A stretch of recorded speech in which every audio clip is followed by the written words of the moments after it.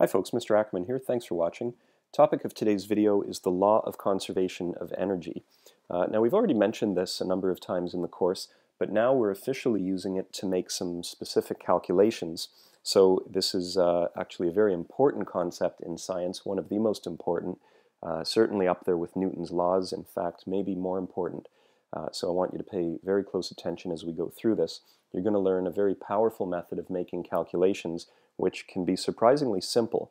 Uh, some of the questions that we're going to answer specifically are how to use this idea, the law of conservation of energy, to deal with some of the forms of energy we've been learning so far, such as gravitational potential energy and kinetic energy, and we're going to bring in the concept of work. So in a moment, I'd like you to pause the video, take a look at where we are in the unit schedule, as well as what the learning goals and success criteria are, then come back and we'll get started.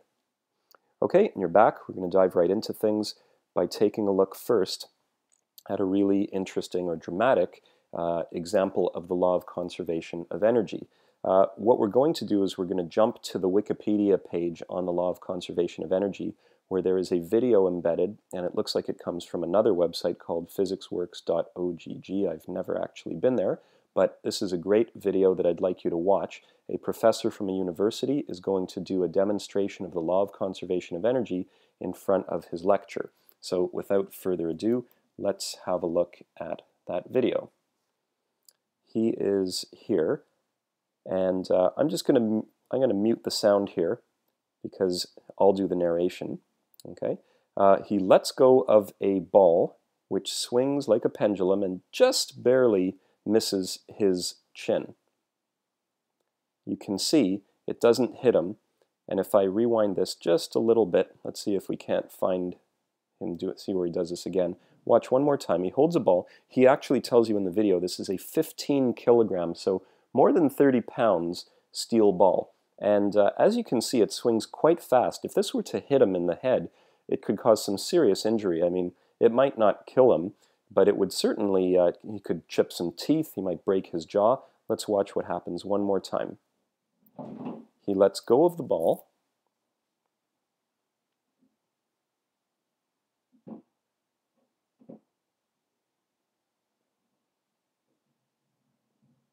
And here we go. You see the ball swinging away, picking up speed, then slowing down and just missing his chin. So obviously a dramatic example of something. Uh, what's it got to do with the law of conservation of energy? Let's have a look. I've drawn a little diagram here of what's going on, and I've written in that the mass is 15 kilograms. Now the numbers that I've used are um, maybe not the exact numbers from the video, but they're probably uh, realistic numbers.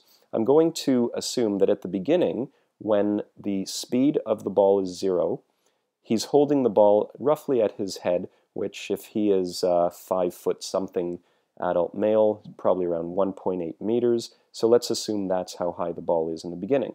Now he lets go, and as you saw in the video, the ball picks up speed, and then it reaches the bottom of its swing, where it's maybe, I don't know, let's guess a meter above the ground, and then it swings back up, and it stops here. And then, of course, it reverses direction uh, on its way back, picking up speed, and then slowing down as it climbs back up. Now in the video, he tells you that as long as he doesn't give the ball a push at the beginning, then it will swing and come back and not hit him. Let's look at the energies that are involved here. First of all, at the very beginning, the ball has no speed, therefore its kinetic energy is equal to zero. And of course, the ball is 1.8 meters above the ground, so we could argue that it has gravitational energy, which of course would be mgh. Now, the ball swings down to this low point here, and because this is the lowest point in the problem, I have the right to make this the place where Eg is equal to zero. So here's what I'm going to do. Even though the height is one meter above the ground, because I see this is the lowest point in the problem, I'm going to make this zero. You can do this. Remember, we talked about the reference point for Eg. You can set it wherever you want, and it's a good idea to set it somewhere, the lowest point in the problem usually, because that makes the math easier. Now if that becomes 0, then this automatically becomes not 1.8, but 0.8 meters. So you have to make sure you make that change. Now the ball swings down to the bottom, and if you go back and watch the video, it's moving very fast over here. How fast is it moving? I don't know, so the speed is a question mark, but I do know that if the height is zero, then the EG is also zero.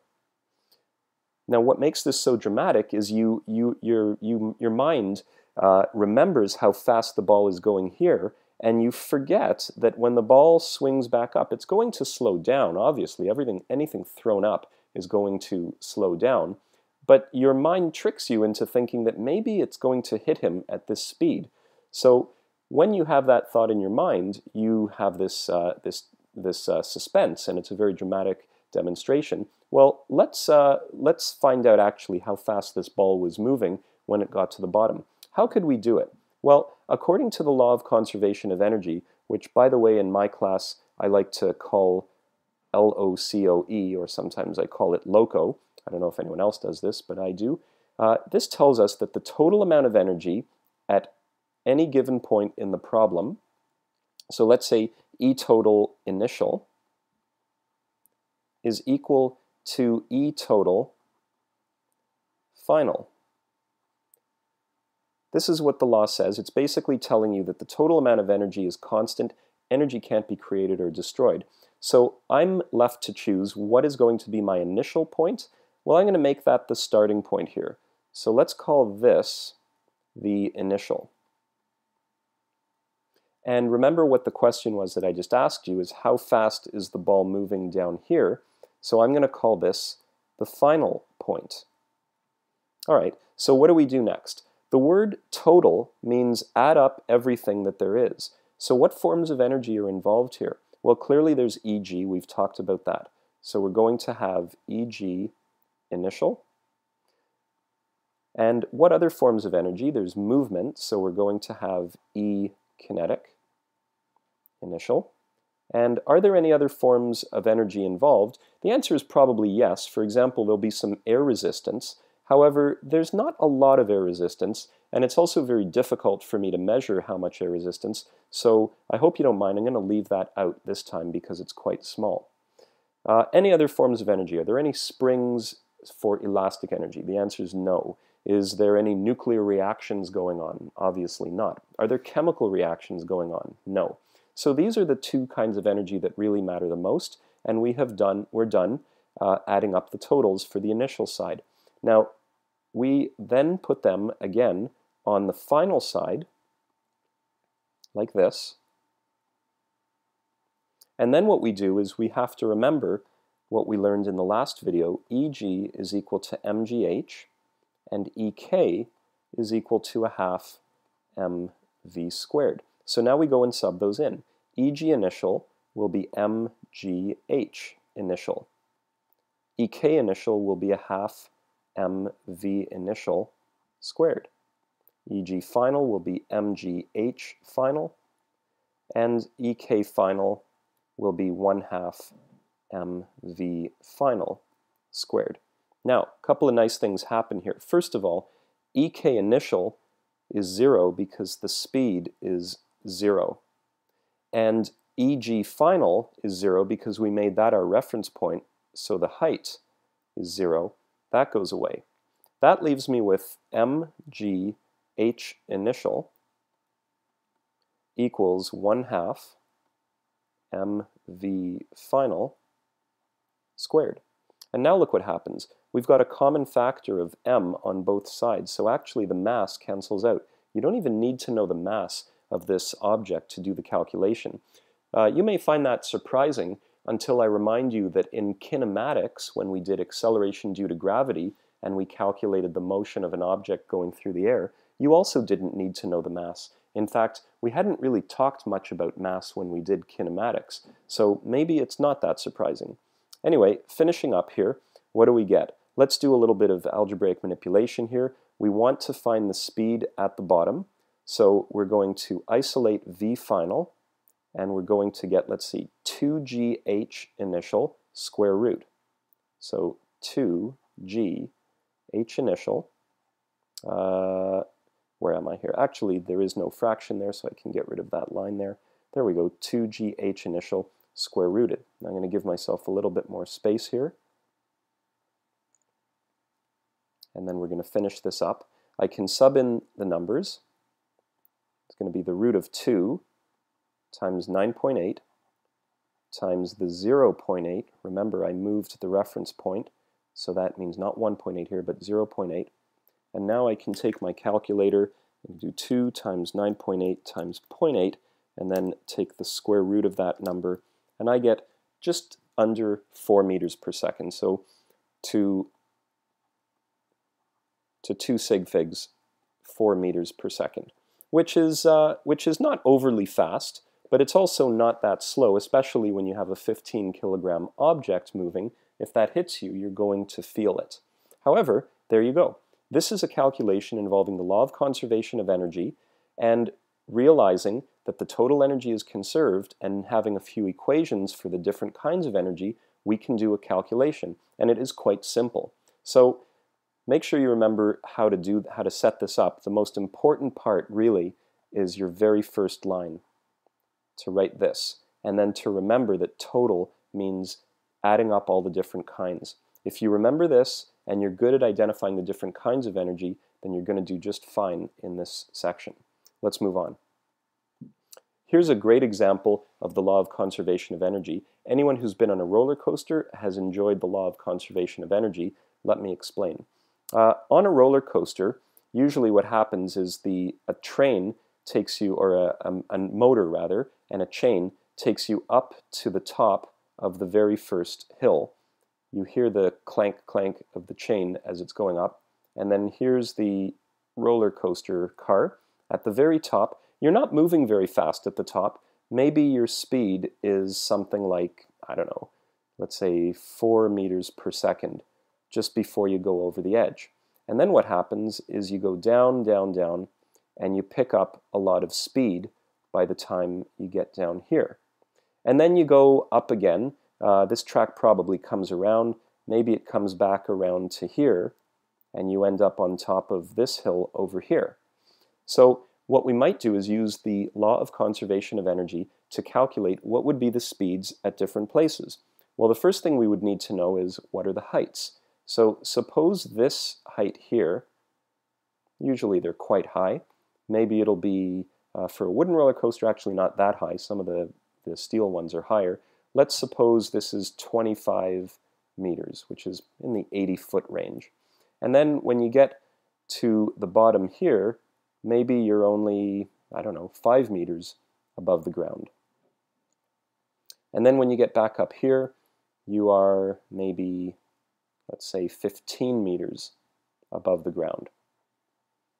Whatever the case may be, uh, we can label these points just to help keep things simple. This will be point A, this will be point B, and this is going to be point C right over here. And so what I'd like to do is, uh, is set up some of the calculations that you might do. For example, you might be asked in part A of a question, calculate the speed at point B, which is down here. So how would you go about doing this? Knowing that you were moving 4 meters per second at the top, 25 meters above the ground, how could you use the law of conservation of energy to get the speed down here? Well, if you think back to what we did in this question, we wrote the law of conservation of energy and then identified the different forms. So let's try that again. We write E total at a point where we know the information, like A, equals E total where we want to find out some information, like B. And then we identify the kinds of energy. Now there is clearly gravitational energy, just like there was in the last problem. And there's clearly kinetic energy, just like there was in the last problem. Now, on a roller coaster, there's also a lot of things like noise, and certainly there's going to be significant air resistance because you get going pretty fast. You can feel the air going through your hair. Uh, what else is there going to be? There's probably going to be rubbing of the wheels against the track, so there will be additional friction. I'll write that down.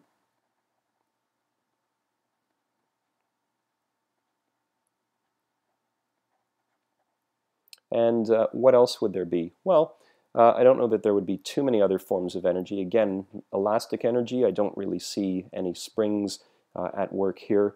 Would there be a lot of chemical energy? No, believe it or not, once that motor brings you up the first hill, a roller coaster has no more motor pulling it, uh, except for some roller coasters. For example, the Bat at Wonderland gets you going forward for half of the ride, and then a chain pulls you up a hill in the middle of the ride, and then you go backward. That chain is needed to pull you up that middle hill because you've lost some of your kinetic energy along the way due to friction.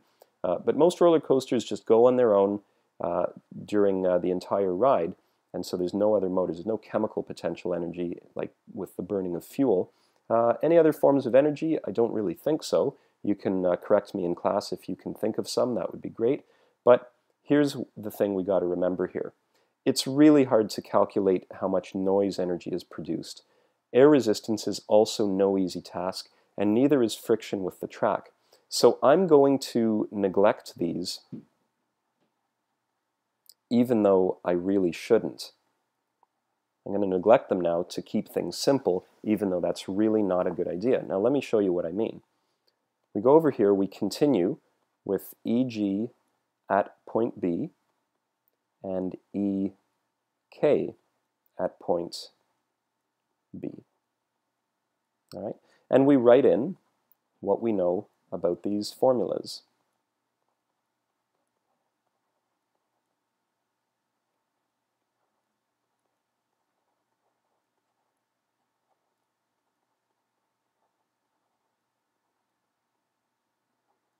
Okay. Uh, now, a couple of things. In this question here, I did something before I started the problem. I made the lowest point equal zero, the reference point, and that meant I had to change this height. Here, I, well, I'm going to pretend that I forgot to do that. The lowest point was 5 meters above the ground. The highest point was 25. If I wanted, I could have made this 0 so I'll put a 0 slash 5. And if that was the case, what would this become? This would become 20. And for that matter, the 15 would become 10. Well, guess what, folks? You actually don't have to do this. I'll, I'll give you a little exercise to try on your own. Try this problem without doing what I just did there, and then do it again with the zero point as the lowest. See whether you get the same answer for the speed at point B you're going to find that you do. And therefore, it's not essential that you make the lowest point 0, but it does come in handy because it makes one of these values 0. It would make mgh at b equal to 0 if I had done this. But I'm not going to because I purposely forgot just to make a point to you. Let's see what you would do at this point. We've got m, m, m, and m, all a common factor. Guess what? The mass cancels. I did not need to tell you the mass of the roller coaster. You can do this calculation. We've got 9.8 times the height at A, 25, plus a half of the speed at A, don't forget to square, equals once again 9.8 times the height at B, this time 5. Oops, that's a weird looking 5 there. Try again. Plus a half of the v, the speed at b, squared. And now you can solve for the speed at point B.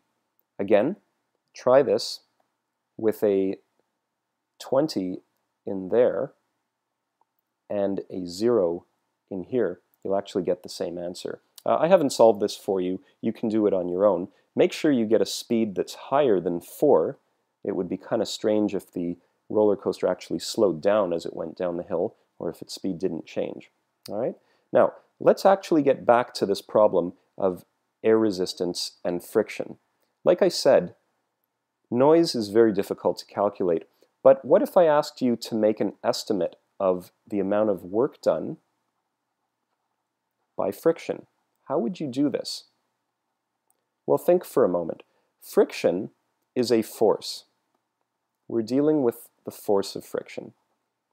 And as the roller coaster car moves forward, so I'll draw that as a delta D vector in the forward direction, friction acts opposite.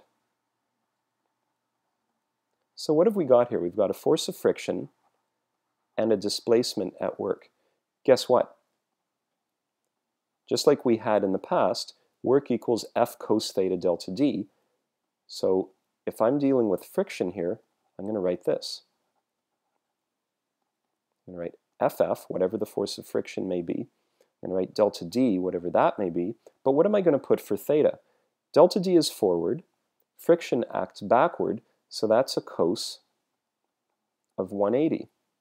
And so what happens when you get a cos 180? That means you have a negative 1. Now I've kind of run out of space here, so what I'm going to do is just move this over a bit. Hope you don't mind. And I'm going to continue writing down here. This is going to give me a force of friction times negative 1 times delta D, which is a negative FF delta D. Negative work is done by friction. And what have we seen in the past video that dealt with work? Negative work meant taking energy out of a system. In other words, actually taking away kinetic energy. So we can actually estimate the force of friction if we want to, and we could figure out how long the track is. It might be possible to estimate how much work is done by friction. Negative work you're going to lose EK. Now, if you lose EK and you can't get it back because friction is, that's like heat, for example, you can't get that back very easily into the roller coaster, then what's that going to mean? It's going to mean that your roller coaster is going to slow down as it goes, and it won't be able to climb to a higher and higher hill as the ride progresses. That's why the highest hill in a roller coaster is the first hill, because afterwards you can't even make it back to the same height. In fact, if you go back and watch the video with the professor, you'll see that when the ball came back to its maximum position, maximum height, there was a greater distance in here than when he let go. When he let go, the ball was actually right at his chin. Due to the friction, that's why the ball didn't get back to the original. So you really do see friction at work here, and we know now how to calculate it. All right, let's move on. Here are some PhET simulations that I'd like you to take a look at, which are definitely worth checking out. One of them deals with what we were just talking about. It's called Energy Skate Park. Let's have a look. So you're going to go to PhET. you're going to go under Physics, you're going to look for something called Energy Skate Park, which I think is under Work, Energy, and Power. When you get there, oops, when you get there, you're going to download and then run this simulation. Here's what it looks like. It's fun to play with. Just as an introduction, you can start off with this guy here, who is a skater, who goes onto the track. And he goes up, and he goes down. You can alter his mass, although that isn't going to change anything, as we've seen. The mass does not matter, just like it didn't in the basic roller coaster problem or the basic pendulum problem. All right, play around with this. When you want to start again, you just go return skater or you reset all, and then you can start him at various different heights. Notice how if you start him here, this point here where my cursor is, he never returns to a higher point. He can't. He doesn't have enough kinetic energy. Now, this is kind of boring after a while, so let's go in and add friction. What would happen if we turned on friction and we move the slider, oops, if we move the slider a little bit higher, like to there. I want you to make a prediction about what you think will happen if I start him near the top, make a prediction, pause the video, and then come back. Okay, you're back, here we go. Let him go. Remember, he started here, but this time friction's acting. Look, he doesn't even get on the other side to the point that he got to when I started. This is like a roller coaster that because it's converting the kinetic energy into thermal energy, the energy of friction, like when you rub your hands together, the rider never gets back to the original position and eventually he stops. Same with a roller coaster. Except for the bat that I mentioned at Wonderland, that one has a chain in the middle of the ride that pulls you back up, does more work, and allows you to resume the ride. An interesting thing to do here is to ask for a bar graph which shows the different energies. Try this. Move him up as high as you can and he gains potential energy on the graph. Because he's not moving, he has no kinetic energy. Because he has not encountered any friction yet, there's no thermal energy, so the total energy is all potential. And let go and watch what happens. As he goes, kinetic and potential, uh, they trade with one another. But the thermal energy keeps rising. The friction that is done never returns to the kinetic potential uh, back and forth that's going on here. Eventually, all the energy becomes thermal, and then the motion comes to a stop. So play around with this. It's a lot of fun. What you can do next is go to the track playground where you can click and drag track down here and you can build different tracks. You can do whatever you want with this. See if you can get this guy to, to somehow uh, stay moving when there's friction. I don't know. See if you can violate the law of conservation of energy or just design a really cool track. All right? That's a little fun for you to play around with. And here's another one which is also in PhET. Uh, sorry, you're going to go under this time. I believe you're going to find it under Work Energy and Power again. And it's called Masses and Springs. When you download it, it looks like this. You've got a bunch of masses that you can attach to a spring. And what I'm going to ask you to do is grab one of these. Let's say we grab the 100 gram mass. I'm going to attach it to this spring and let go and watch what happens. The mass starts oscillating up and down. You can do it in real time. This is what this would really look like in a classroom. Or you can slow it down at a quarter time, or you can really slow it down at a sixteenth time, or you can pause it. I like a quarter time. It's a good compromise. Now, the mass goes up and down, and it keeps going up and down. If you leave this till tomorrow morning, it will still be going up and down. Uh, that's because there's no friction. So here's the friction slider that you can play with, but before we do that, let's look at the energies that are involved here. In order to do that, I am going to go to 16th time so that I can talk a little bit more. Um, the mass goes high. Let's pause it there. What energy do we have here? We're really high up in the problem. Pause the video and identify the main kind of energy. Okay, you're back, and what was that energy? It is gravitational. The mass is at the highest point. However, as we run the simulation, the mass falls down and it is now moving, so it has kinetic energy. It's also stretching the spring, so pause the video and see if you can think about the kind of energy that represents. All right, you're back. That energy is elastic potential energy. And of course, as we make it to the bottom, see if you can predict what's going to happen and then come back to the video. All right, you're back. Let's see what happens. Go to the bottom and we stop moving, which means no kinetic energy, but even more stretch of the spring, so more elastic energy. Then the process reverses itself. Up we go, gaining gravitational energy. Meanwhile, we start to slow down, so we lose kinetic. And we also start decompressing the spring, so we lose elastic energy. If you want to see a similar graph to what we had in the previous uh, skate park question, do this. Click on Energy, Show Energy, and then run the simulation. Watch what happens. Kinetic energy changes as the speed changes. Gravitational energy becomes very low at the bottom and then goes back up at the top. Elastic energy increases as the spring stretches, but the total energy stays constant. Now let's pause this and see what happens if we introduce friction. Can you guess what's going to happen? Take a moment, pause the video, guess, and then come back. All right, here you're back. Let's take a look. If you guessed that the thermal energy, the friction, was going to start to increase, then you're right. You can see here the amount of friction is increasing, both in, an, in a sense of how much there is on its own and as a relative amount of the total energy. It's starting to take up more of the total energy, which means there is less energy available for other forms. Those other forms, such as kinetic, are going to mean that the object is going to eventually slow down. And if you leave this long enough, it will stop. You can see it's already slowing down.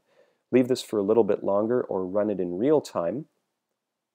Watch the thermal energy rise. Notice the kinetic energy becoming less and less. And eventually we come to a stop. I'm going to leave that for you to finish off, but this is a fun simulation to see how energy uh, transfers in a spring. All right, and let's finish off now with something of extreme importance actually. Uh, this is not so much important uh, in the sense of, hey, I want you to know it because it's really cool, but actually because it affects our future. It's the idea of how society meets its energy needs. We are a very energy intensive society. We have fridges and heaters and air conditioners and lights and televisions and all sorts of electronic gadgets in our home. We drive our cars everywhere. We use a lot more energy per person than any other groups of people on Earth. That is uh, pretty much a fact. Maybe there's the odd country that is more energy intensive than Canadians and Americans, but we are up at the top for sure. How do we get our energy, and what does it have to do with the law of conservation of energy? Well, here's an image from your book, Physics 11 by Addison Wesley, and it shows what's called a fossil fuel or thermal generating station. Here's what happens. You take a fossil fuel, which might be, uh, it could be natural gas, it could be coal, uh, in some countries, they even use oil. And we burn it. That creates a lot of heat. That heat is used to boil water, which is surrounding the heat source. And that heat, uh, that water actually becomes steam. The steam then moves under high pressure to spin a turbine. Now, where have we seen this before? We've seen a water wheel, as in a hydroelectric dam, but this time we're using high pressure steam, which also works quite well. Uh, that turbine is connected to an electric generator, and from here on in the process is the same as the hydroelectric dam that you saw in the previous video. Cooling water is used, usually from a lake for example, and that causes the steam to condense back into liquid water and the cycle repeats. In the meantime, air from outside, which is allowing combustion to happen in the boiler here, means there's going to be the, uh, the waste products of combustion, which of course you learned from earlier uh, years when you've studied science. When you burn fossil fuels, you get CO2 and you get some water, H2O. So what are we mostly concerned with? It's this. It's the CO2 that gets pumped into our atmosphere, and of course you know that that leads to global warming, which is certainly occurring. Anyone who tells you global warming is not occurring, you can immediately dismiss this person as either not knowing what he's talking about or trying to mislead you. Every scientist who is serious about this uh, and does not have a hidden agenda knows that global warming is occurring, and virtually all of them will tell you that it is definitely due to human activity. I hope we're wrong, but the evidence certainly does not suggest that's the case. Global warming is a fact, and it seems like human beings are the main cause. Uh, we do this on a daily basis uh, a, a lot. We're pumping a lot of CO2 into the air. And of course, all of the nations that are trying to uh, improve their standard of living, uh, I think of any nation around the world that used to be a third world country and is now industrializing, they are only adding to this.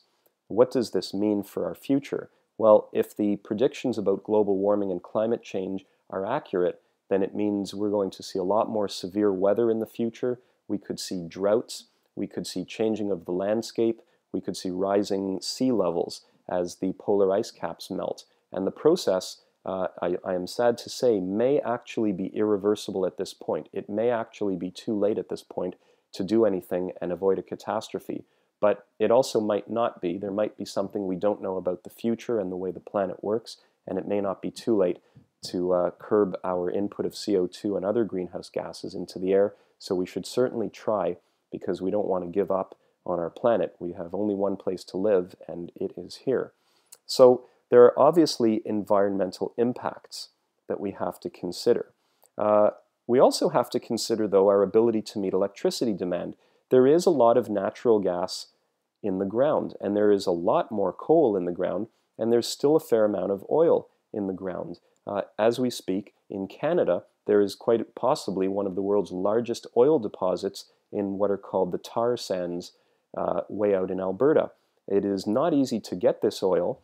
It actually requires a lot of energy to get it out, but we are doing this out west. So look that up if you want to learn about how Canada is producing and exporting oil. That means there's economic impacts to what we decide to do with our electricity generation methods. Uh, and of course, the running of our economy depends on the, available, the availability of cheap energy. Right now, we pay very little for our energy compared to the damage that it might be doing to the environment. But as the uh, years go by, and as the rest of the world industrializes and puts demands on the natural resources on our planet, that, pr that price may actually go up. So here we're talking about how available are these resources, these fossil fuels. Well, these are all things that have to be considered, and I made this the fact of the video because it's so important to our future, more your future than mine because I've got a few years on you guys, but you should definitely be thinking about this. Uh, what can we do to avoid a climate catastrophe and a possible uh, squeeze on our demand for, uh, for or the availability of resources as other countries compete for what is available out there? Well, we could switch to other forms. There are, of course, nuclear energy, and of course there's hydroelectric, and uh, of course there's also solar, and there's even wind, and there are some others as well. Uh, there are pros and cons to all of these, and in this chapter of your textbook, 5.4, you can read about them, and I certainly encourage you to do so. Uh, I envision a future for myself and for you guys where we have challenges, but maybe some of you are going to be the people who start looking into this now uh, at your age, you're 16 or 17 or maybe 18, that means you are in a position where you could actually be someone who comes up with a solution to some of these problems. And maybe that will save our planet from catastrophe. Or maybe you'll find a way to, to make this situation livable. Maybe we'll find a way to remove CO2 from the atmosphere in a way that is uh, economical and feasible. I don't know. I certainly hope that some of you get interested in this and don't get too depressed. Uh, we have to have hope. We have to make sure that we think about solutions. It is certainly not realistic to expect everyone to stop burning fossil fuels, so we need a solution that works. Anyway, that is where I'm going to leave you. The fact of the video then, well, let's call it facts of the video. Make sure you're able to discuss what I just discussed with you on this uh, slide here. It's of extreme importance, maybe the most important message of the entire course. And with that, I leave you to go do some problems now. All right, sorry for the long video, guys. I hope you enjoyed. I will see you in class.